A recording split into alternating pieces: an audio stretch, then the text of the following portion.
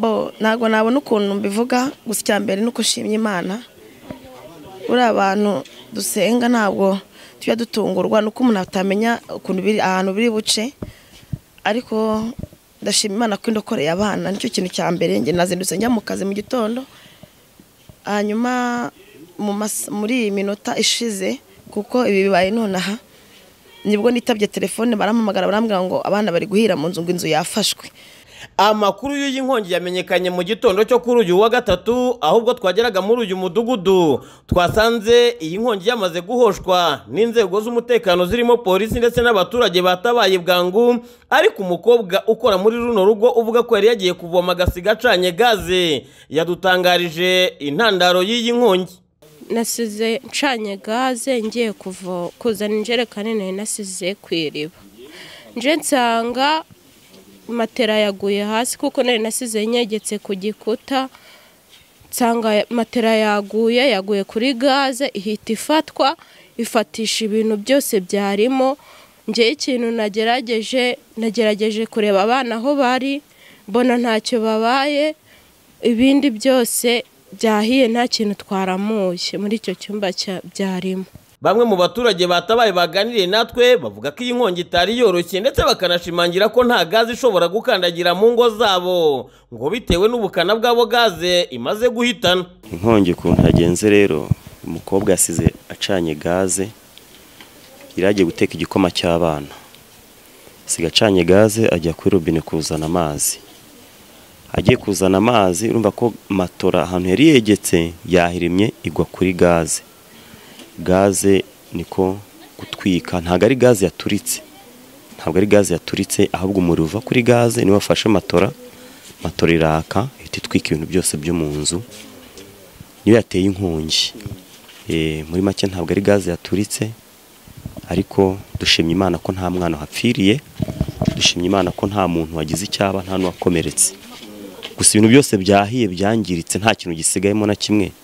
Ariko imana ishimwe kuko abana ari bazima bavamo ari bazima. N'uwari ugiye kuzana amazi yo gutekera abana igikoma nawe ntacyo yabaye ni muzima. Turashima imana cyane nta kibazo rwose. hari harimo abana hari harimo abana batatu. N'umurezi wabo wa kane wari wagiye gushaka amazi yo kubatekera igikoma. Mama we yari yari yagiye mu kazi ko azinduka ajya mu kazi mu gitondo gushaka imibereho y'abana. Ntabwo ntabwo bikwiriye ni ukuvuga ngo gaze nabwira abantu bose batunze gaze bajye bihangana gaze bayishakira ahantu hayo ho kuba. Niba ari mu gikoni ebyiri igikoni cyayo nigira itera ibibazo bibe- bibera iyo ngiyo mu gikoni bitageze mu nzu. Kuko bishobora kuzateza impanuka zikomeye cyane mu bana. Ntabwo gaze ari nziza kuba mu nzu abantu bararamo. Ngewe ntabwo nshobora kuyitunga Nub- nubwo wayimpera ubuntu sinayitunga nubwo wayimpera ubuntu sinayitunga kuko ibyo ikora maze kubona ni byinshi cyane. Njye ntabwo nayitunga. Ntabwo wishimira iterambere. Iterambere ni ryiza ariko gaze kwitunga sinshobora. Sinshobora. Ni ukuri kuzima. Mm. utatunga gaze? Mwese ibintu gaze iratwika ibintu. Uretse uretse no kuvuga ngo no kuvuga ko wenda itari- atari byiza kuba yaba mu, nzu abantu barimo. Ariko ibyo ikora byose eh, ku gisozi. Nabonye yagiye itwika ibintu mu maresitora downtown yatwitse resitora sibyo? Nta bana barikinishije sibyo? N'ahandi n'ahandi umva ko rero buriya gaze mbona ko ari mbona ari nk'igisasu waba ubitse mu nzu. Inkongi mageze imeze nk'irangiye ariko hano hangiritse ibintu byinshi. Ikintu bise gaze ni ikintu kibi cyane ntabwo ari ikintu cyo gufata ugatereka mu nzu irimo n'abana cyangwa ahantu haba umuntu. Ahubwo gaze twavuga ngo nibe ahantu hatagera abo bana kugira ngo mu buryo bwo kuyirinda abana no kugira ibintu yangiza byinshi gaze bajye bayubakira ahantu hayo. Kuko gaze ni gaze ni mbi cyane. Hangiritsemo ibintu byinshi. Kuko icyumba gaze yari irimo nta n'ikintu na kimwe cyarokotse. Ariko turashima imana ubwo abana babashije kubona uburyo n'ubutabazi bw'abaturanyi bakabasohoramo ibintu byo mu nzu byose ni nk'aho byangiritse. Goreti wamenyekanye nk'umuhanzi uririmba indirimbo zihimbaza imana avuga ko ashima imana kuba abana batatu be nta n'umwe wagize icyo abera muri iyi nkongi. Ngo dore ko ubwo iyi nkongi yadukaga aba bana bari baryamye. Kuko ibi bibaye nonaha ni bwo nitabye telefone barampamagara barambwira ngo abana bari guhira mu nzu ngo inzu yafashwe. Mu by'ukuri mise mbanguka ndaza mfata moto ndaza ndareba ikintu cya mbere kibaye ni uko ndashimira n'ubuyobozi bwacu kuko bahise batabara abapolisi baraza baraza barazimya baraza baradutabara ariko ibintu byahiye. Ikintu cya mbere cya mbere ni uko nshima imana ni uko imana ndokoreye abana. Yewe nitwa mushimiyimana goreti musanzwe munzi. Birandenze birandenze. Ikintu cya mbere nshima n'abana banjye kuba imana indokoreye abana nagira umwana uhira mu nzu. Ndashimira abayobozi bacu badutabaye. Imana ibaha umugisha. Abayobozi bacu badutabaye imana ibaha umugisha kuko kumva ngo nari gushyingura abana bangana gutya nkumva ni ibintu bitoroshye. Ngiye mfite abana batatu n'umukobwa ndera yasohotse yagiye ngo asiga atetse igikoma ni bwo gaze rero yafatishaga iyo matero birashya. Nuko nanjye babimbwiye kuko ngewe nsanze barimo kuzimya. Ndashima imana.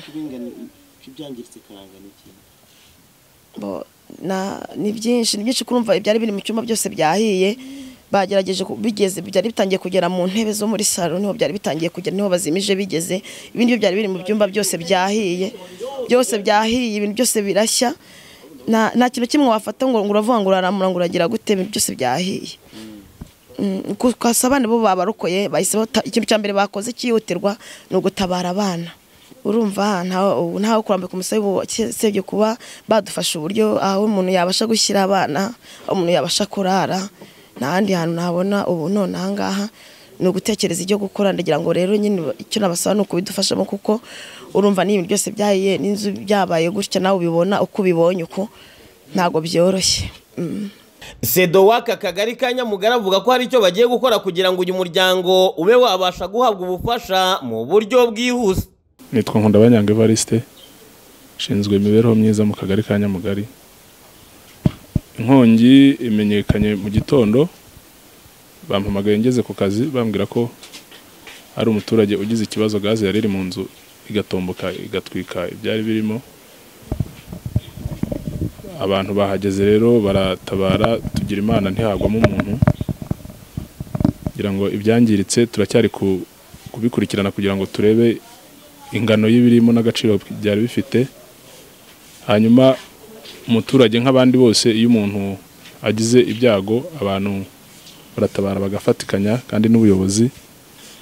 Natwe turaza gukora raporo tunabivuge mu nzego zo hejuru kugira ngo dufatikanye turebe icyo yaba afashijwe by'ibanze byamubasha kugira ngo nawe abashe kubaho. Kuko urebye ahantu ibintu byangiritse harimo n'ibintu byihutirwa byangiritse ubwo rero turaza turi kubibarura neza kugira ngo tuze gukora raporo tumushyikirize inzego zo hejuru arebe icyakorwa. Aravuga ko ku bijyanye n'aho kuba arambitse umusaya yaba we n'umuryango hagiye gukorwa iki? Ntabwo navuga none ahangaha ngo hagiye gukorwa iki. Eh, cyane ko dusa nkaho wenda twagize imana ngira ngo twaza kuvuga cyane ko ari n'umupangayi. Turagerageza kuvugana inzu yo biragaragara ko nubwo yangiritse ariko si cyane twavugana na nyir'inzu akihutira kugira icyayikoraho kugira ngo wenda abashe kuba ahabaye. Hanyuma ntabwo nahita mvuga ngo ubu none harafashwe iki kuko twese ni ubuvugizi ikiraza kuboneka turaza kumugezaho icyabonetse ariko tumanje kubivugana n'inzego kuko ntabwo biragera aho bigomba kugera hose. Ubwo twakubukaga muri uyu mudugudu ingano y'ibyatikiriye muri iyi nkongi yari itari yamenyekana kuko hari hakirimo gukusanywa ibyaba byangijwe na yo. BTN TV mu murenge wa Gatsato mu karere ka Gasabo mu mujyi wa Kigali Ndindahiro Valence Papi ni abaturage bagandagaje mu mbuga ndetse no ku biro by'akagari ka Kinzovu mu murenge wa Kabarondo mu karere ka Kayonza. Aho barimo gutabaza ngo bitewe n'uko bajya gushaka serivisi ntibazihabwe bitewe n'uko ngo hashize igihe kingana n'icyumweru babyukira kuri bino biro by'akagari. Yaba sedo ndetse n'umunyamabanga nshingwabikorwa ntihagire uwo baca iryera kubw'umutekano w'abaduhaye amakuru badusabye ko amajwi yabo yahindurwa ndetse n'amashusho ntajya ahagaragara ngo kubw'impamvu z'umutekano wabo ngo kuko bashobora gukurikiranwa cyangwa se gutotezwa n'aba bayobozi bashyizwe mu majwi. Eh, hashize hafi nk'ibyumweru nka bibiri. Ubundi hano ku kagari ka kinzovu tugira abayobozi babiri ari we umuyobozi w'akagari na sosiyale ubundi bajya baza rimwe na rimwe. Eh, ariko nyine hari igihe baza ubundi ntibaze. Rero bahamagara bataje kugira ngo bahamagara bakabwira tuzaze ejo bakaza ntibaze. Gutyo gutyo bagamara icyumweru bataje. Eh, igihe kinini bikunda kuba bikinze. Ni serivisi nyinshi zitandukanye hari abaje mu byiciro gusaba icyiciro abaje gukuzaho abaje kongereshaho kwishyura mituweli ni serivisi nyinshi. Kandi abantu dukeneye ibyiciro nk'ubu ngewe nenda kubyara nta cyiciro mfite. Hari n'abandi bafite ibibazo bitandukanye kongezaho gukuzaho. Eh, turaza twasanga. Ubundi ahanini ibyo biba bireba sosiyare ariko turaza tukamubara bakatubwira ngo ari muri konje. Ubwo konje aho irangiriye ntago ari gukora. Atubwira ko ari muri konje azaza ariko nk'ubu ngubu yavuye muri konji kuri cumi n'eshanu. Ariko ntabwo aratangira gukora. Kuri iki kibazo twavuganye n'umuyobozi w'aka karere ka kayonza bwana nyemazi john bosco mu ijwi rye avuga ko kino kibazo batari bakizi yemwe nta n'inama yaba yatumijwe ngo bano bayobozi bayitabire. Ariyo mpamvu ngo bagiye gukurikirana iby'iki kibazo. Twareka tukabikurikirana tukamenya ibyo ari byo. Ko ntabwo twa- twari tuzi yuko tuzi ko serivisi zitangwa ubwo twa- twakurikirana tukamenya impamvu byaba bivugwa bityo. Bamwe mu baturage twahasanze rwose bari bakumbagaye mu kibuga nta muyobozi n'umwe n'akagari gafunze. Reka tubikurikirane. Keretse umurenge ubaye wari ufite inama ariko nabwo ntabwo iyo nama yaba eh, mu gihe abaturage baba barimo baba bagomba guhabwa serivisi. Ikibazo cy'abayobozi basiragiza abaturage abadakemura ibibazo by'abaturage ndetse n'abirirwa mu nama. Za hato na hato umuturage ntahabwe serivisi ntabwo ari bwo bwa mbere cyumvikanye mu itangazamakuru. Kuko ari n'ikibazo cyanagarutsweho na nyakubahwa perezida wa repubulika paul kagame. Ngo twumvikane. Wenda hari inama ziba kuko hari n'inama zifite ibyo zikemura. Ariko ndagira ngo mbabaze niba inama za buri munsi muhoramo zituma mudakemura ibibazo by'aba baturage babagana. Ndashaka kumenya icyo izo nama ziba zigamije. Ni inama zo kugera gute? Inama abayobozi muhoramo muhoramo hagati yanyu. Ni inama zo kugera gute? Inama zidakemura ibibazo by'abaturage babaganye bavunitse bazindutse babagezeho bakirirwa mubabwira ngo uri mu nama mu nama mu nama ni inama ki? Hakibazwa icyo minisiteri y'ubutegetsi bw'igihugu izakora kuri kino kibazo ngo kibe cyahabwa umurongo umuturage ashyirwe ku isonga nk'uko bivugwa. Ari na yo mpamvu tugishakisha ubuyobozi yaba minisiteri ndetse n'ubuyobozi bw'uyu murenge kugira ngo tumenye icyo bakoze kuri iki kibazo ubwo bazagira icyo badutangariza. Tukaba tuzabigarukaho mu makuru ya cata BTN TV mu karere ka Kayonza Ndindahiro Valence Papi